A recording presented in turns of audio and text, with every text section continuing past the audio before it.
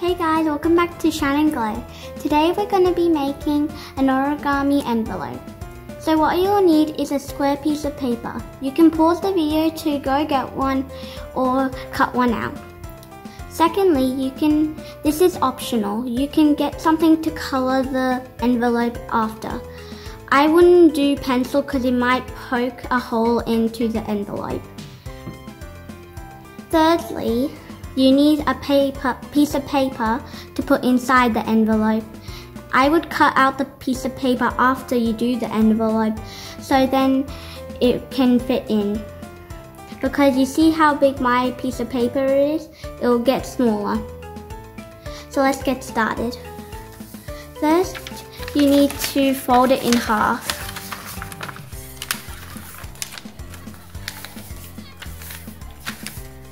Then open it up again.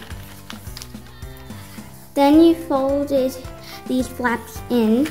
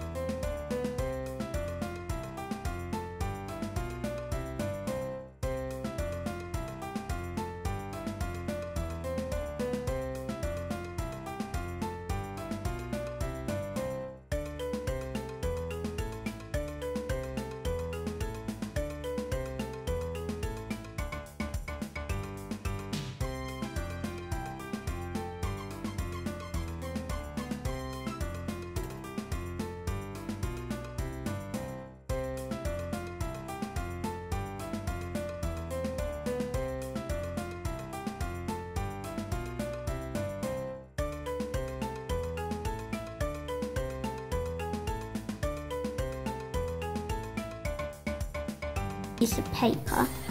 I would put it in here.